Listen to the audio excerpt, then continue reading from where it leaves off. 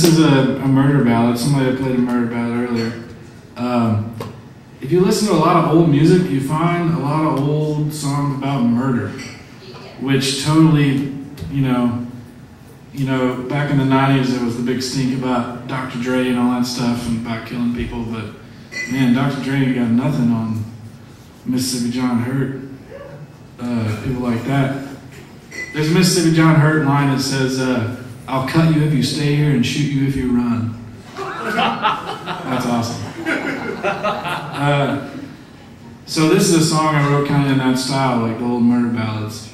Um, and I was gonna make it a lot longer, and I was gonna make it so that, you know, in the end, the guy like realized he did something wrong and turned himself in.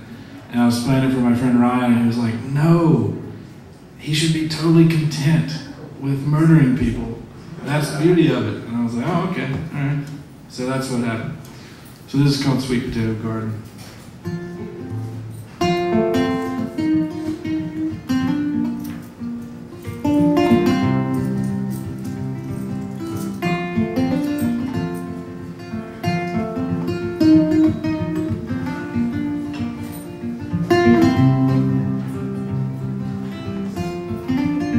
Well, I knew me a woman, she knew me.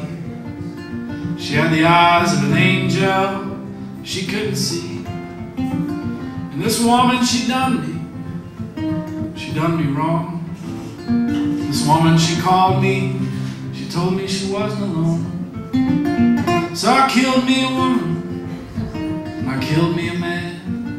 And I buried their bodies on my acre of land. And I planted my garden on top of their graves.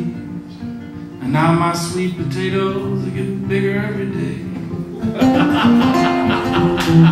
and when the policeman comes around,